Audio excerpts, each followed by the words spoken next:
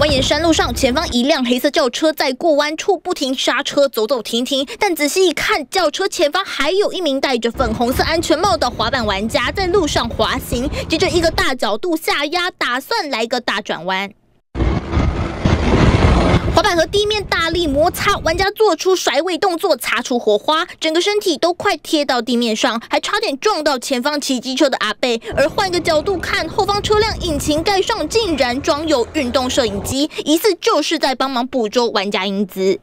是真的蛮危险，而且它前面又有机车，对，然后后面又是又又台又有车子在跟拍，请民众要从事该项运动向。潮州公路段申请路权。台二四线雾台跑山路线沿途会经过山地门文化馆、伊拉瀑布、樱花王以及著名的雾台风景区。由于当地路段限速三十，不定时定点取缔，加上近几年罚很大，有玩家干脆上山挑战飙滑板，不仅把滑板当成重机在飙，还拿滑板压车甩尾。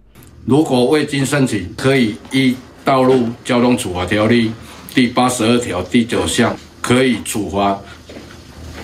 新台币一千两百元以上或两千四。根据了解，极限滑板玩家是为了拍影片才会特别上山拍摄，但由于没有事先申请，最终罚两千四百元。只是相较重机超速就挨罚，滑板车反倒是无法可罚，未来恐怕成为新一波乱象。记者张春华、马家瑜，屏东报道。